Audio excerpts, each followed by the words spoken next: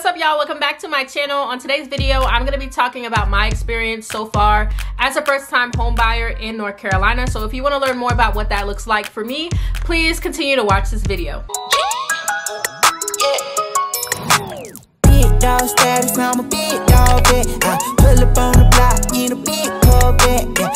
The real estate market has been pretty crazy. We have been actively searching, looking at houses, touring for a month now. So it's only been about three and a half weeks. And it has been pretty tough. I work full time in my business. I had to wait two years to be able to qualify to get a house with my employment, right? Because when you're self-employed, you need to have two years worth of tax statements. So I've been waiting to get a house and wanting to get a house for a very long time and had to wait until about now because I hit my second year in business in November. It's currently February. And man, I did not know it was gonna be anything like literally um, every house that's on the market, there are so many offers that's going in for that one house, right? And all of them are above the asking price, like above what the seller is asking for. If you want to get a house, be prepared to have a good amount of money down for the seller and then also be prepared to go up above asking price. This is not 2008, 2010 where you can negotiate with the seller and be like, I'm not taking the house as is. You're, you're gonna have to make these repairs. You're gonna have to do this and this and this to the house. Um, I want your patio furniture, this and that. Like, no.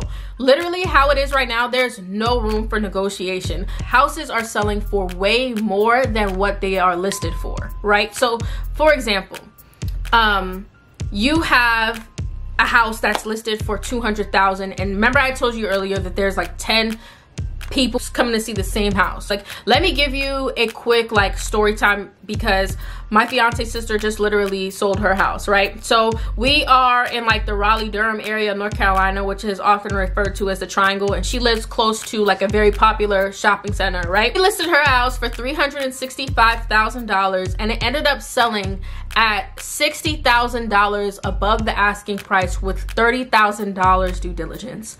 Um, that is a lot of money and this could really be a very intimidating process for a first time home buyer like myself. If you are a first time home buyer or if you're considering buying a house in the future, like let me know your thoughts as well. I wanna know if you're going through the same thing in your city, what city you're from, just deciding to wait. Like I'm really curious because I am kind of in the boat right now where I'm telling Will, I'm like, man, should we just wait it out a little bit? And he's like, no, like literally it's now or never, right? So just like, let me know if you're in that situation because I would literally love to know what's pretty much been going on with us so far. We have been pre-approved for about a month and um, I already knew a realtor so just right away we let her know that we got pre-approved. Shopped around a little bit with the mortgage lenders just to get an idea of what our um, interest rates and stuff would be and ended up going with her preferred lender because of the um, amount of time that it would take to close. We are not trying to go as high as what we've been pre-approved for because we don't want to be house rich and cash poor. Like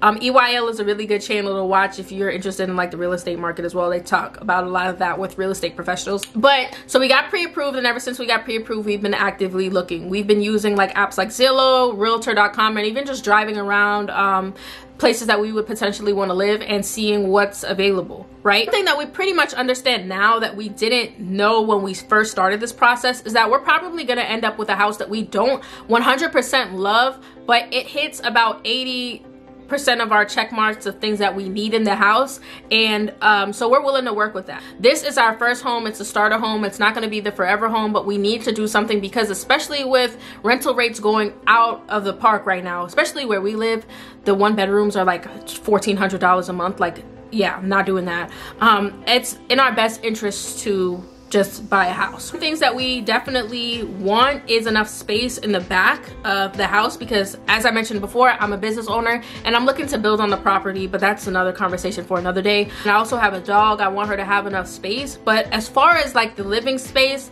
um, definitely at least two bathrooms and we really don't care about the amount of bedrooms. Um, just enough space for us to be comfortable. Like we are engaged now and so you know we just want to be able to live freely in our own space like that we own. Where we are it has also just recently been announced that Google, Apple, and I think Amazon are coming. So there is literally a flood of people that's coming to Raleigh Durham from up north, right? So what I believe is happening is that these people that are moving from like New York and stuff like that, and they got they're selling their house and they have all this equity and all this cash, they're coming out here and to them they're looking at North Carolina like, yo, I could buy this three hundred thousand dollar house. What? Like in New York, I just sold my house for six hundred k. You know and they have a lot of money to put down. And we also having these issues with investors coming and buying out all the the properties or like rehabbing properties and taking them up like in price by like a hundred thousand dollars right? So cash is king, right? The sellers, they're looking at it like it's pretty much like black and white. How much money do you have? I'm going with the highest bidder, right? And so for people like us where we don't already have a property to pull equity out of or we don't have these large funds of cash, right, to pull money out of, it's hard. Like it's literally pretty much like ridiculous at this point. Just to recap, the first thing I learned was that we're probably gonna have to get a house that we don't love, but it works, right? The second thing is that there's these two forms that I didn't really know of before I started the process that are pretty important. The first one is is a disclosure form, right? So that is basically what the seller provides to like potential buyers that just basically goes through a list of what they know or recognize is wrong with the house, right? So they'll be like, this house has Foundation issues, yes, no, or no representation. Representation means that you have no idea. All right, so with the disclosure form, say the seller put yes or no on the disclosure form and it comes back that something that they said yes or no to came up the opposite way, right? Then they would be held liable for it. But if they put no representation, like just say that they don't know, if anything comes up, they're not responsible. So in a lot of disclosure forms, there are some people that just put no no representation straight down the list. And this could be things like termites, um, foundation issues like uh, covenants and all this kind of stuff. So you gotta watch out for that. Thankfully, there was one house that Will and I had looked into and um, it was pretty far out, but we were willing to do it and it was checked all the boxes. But when we finally got the disclosure form, it said that the house had issues with termites and it also had foundation issues. So that was good to know. The second form that we didn't know about is called an appraisal addendum and that is a form basically saying that if the house appraises for anything less than what you offered on the house then you are responsible for covering the difference, right? So let me talk a little bit about that. With the current housing market, if there is a house that is listed for a certain price, right? You have to go above that price to be able to even be competitive in this market. Let's say, throwing out random random easy numbers. Let's say a house was listed for $200,000, right? You put in an offer for $230,000 and they accepted your offer, right? Nice. So their $230,000 offer, let's say you put down $10,000 due diligence and that's the money that you offer the seller showing that you are genuinely interested in this house purchase and um, you're willing to go through with it, right? So you get an appraisal and let's say the appraisal says that the house is worth $210,000, right? Now it is your responsibility as the buyer to front that $20,000 difference. And if you don't have the money, guess what? You lose your due diligence money. It's very important that you as a buyer, once you're starting to put in your offers, that you are thinking about it thoroughly and looking at the area and just not throwing out random numbers just because you are pre-approved for it. Because if the house is not appraised at the value of which you offered, you are only gonna get the mortgage loan for 210,000. The rest of the money you need to come up with, and if you don't, you're beat. All your savings are gone. So you've been trying to, you know, just keep in mind, and it's been pretty tough. Like, we obviously don't want to lose money. Like, we've saved to be able to do this, and it's a large risk. It's a huge risk. So there's that. Let me tell you about my stories so far of what happened with the houses. So I told you about the one that um, was a little bit away that had the termites and foundation issues. So we walked away from that. There's a plethora of things that we're willing to negotiate, but foundation and termite issues are not one of them. Like we're not doing that, right? So let's talk about this other house that we were interested in was in a neighboring um, city. And um, this house was pretty kind of low key, like abandoned. There was somebody that lived in it and the guy died in the house. Um, and his daughter was selling the property. So the house was built in 19 like 80 something like 1983 or something and the guy has lived in there since then and has done absolutely no type of upgrading to the house. So literally we knew that if we had the house, we would have at least had to put at least 20,000 to $30,000 worth of work into it to feel comfortable to live in the house. House that we're renting, the lease doesn't end until June. So we're like, all right, it's January, February. So we got a couple months to at least, you know, get the ball moving like and not be there. Go to the house, pretty much we're like um, looking around, we're like, okay, there's enough space in the back for us to do the things we want to do with the space in the back. Um, there's a shed. The house is needs a lot of updating. It needs all new appliances like floors, painting, all of that stuff. It needs to be done. The way that we found out that the guy died in the house because there was a nosy neighbor that was touring the house that knew him and was basically like you guys should buy this house. It's an amazing neighborhood. Like it needed some work. Um, the guy who lived here was super nice. Like you might see his spirit in here and stuff like that because he never left the house but um, it's a great house. Like he's a great guy. And i'm like oh that is like one thing about me. Like i watch a lot of those scary shows so like i know um, i believe in the spiritual world and like i believe that that kind of stuff exists. First i'm like oh, I don't know, because there might be a little attachment or something like that. But I was willing to compromise, right? So cool. For that house, we were willing to go uh $30,000 over asking price with $10,000 down in due diligence, right? And our realtor was on her way to submit an offer. Said that and she's like, "Hey, I'm about to put a um I'm about to put in an offer for the house, right? Just letting the other, the seller's agent know.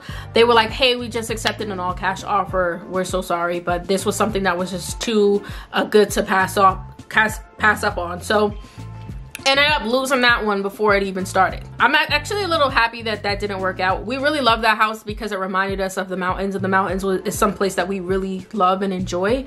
Um, but it would have been a lot of work for us, especially as first time home buyers. It would have been sweat equity. Like the thing is, as soon as we fix it up, it would have likely appreciated in value by a whole lot. Um, but that was something that um, I am grateful that didn't work out for us. House number two was another one that was um, uh, this one is still pretty fresh. We just found out that we didn't get this house yesterday.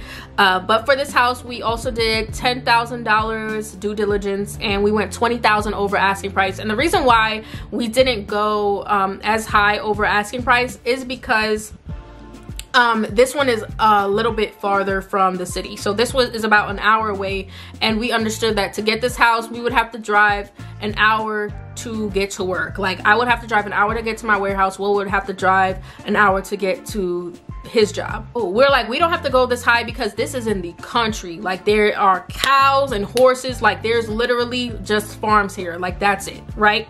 There's a couple of houses scrambled in, but like it's just pretty much farmland, right? And so we went 20,000 over and we went $10,000 due diligence. So we were risking $10,000 to get this house. And we ended up losing that offer as well, which is crazy to me because we really thought that we had that one. And we are like, man, I don't know what to do because that house already had a shed and a workshop. Like I wouldn't have to do absolutely anything. So, um, yeah, that happened. Pretty much understand at this point that what we are looking for it's probably going to be in house number two or three because this is our very first real estate purchase. It's not our forever home. It's just something that we can live in and build equity while all this like mayhem with the housing market is going on. And um, just pretty much go from there. Dying to know how you guys feel about the housing market. Do you guys feel like it's gonna get any better? Do you think it's gonna get worse? Do you think it's gonna stay the same? I'm really curious to know because I have no idea. There's so much information online about what's happening and um, it's it's just it's just tough. It's a tough situation for anyone, renters and buyers. This is also another thing that I was telling my fiance about the other day. I was telling him that, you know, there's a lot of people online arguing about whether or not you should rent or buy, which I uh, totally understand the argument of I don't want to be tied down anywhere, so I'm gonna rent so that if I want to move, I'm I'm ready, right? How I feel is a lot of people say, why would you rent when you could just buy a house and, and build equity and own it? But that's not the issue.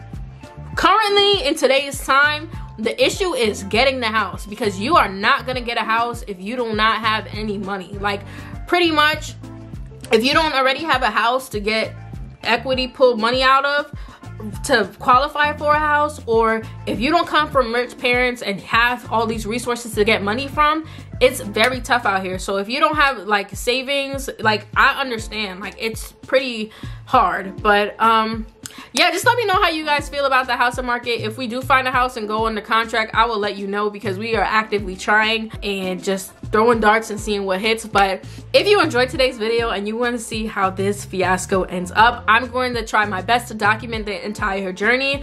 Um, so don't forget to subscribe and hit that like button below. But until then i will see you in the next video